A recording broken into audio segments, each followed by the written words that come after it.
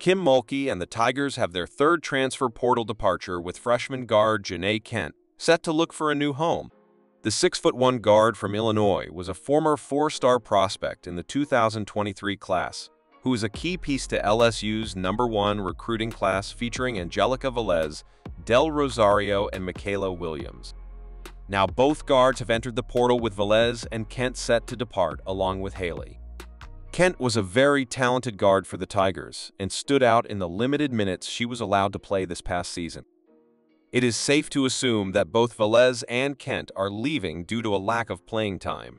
Kent leaving will be a huge loss for the team, especially since they already struggle to retain strong guards. In her freshman campaign, Kent averaged 1.6 points per game, playing sparingly during her lone season under Kim Mulkey.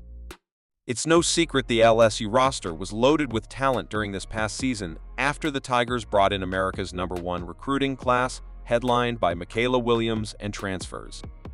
Now, Kent returns to the recruiting scene with a chance to find a new home to seek immediate playing time and impact.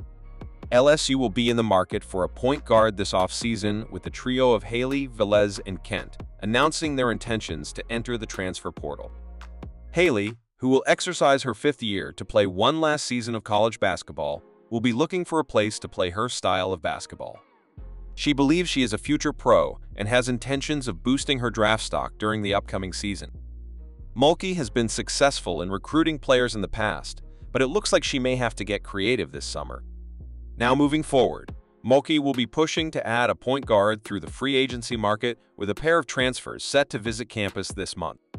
Let me know what you think in the comments section below. Do you think more players will end up leaving through the portal? Do you think Mulkey will be able to build another team with championship potential?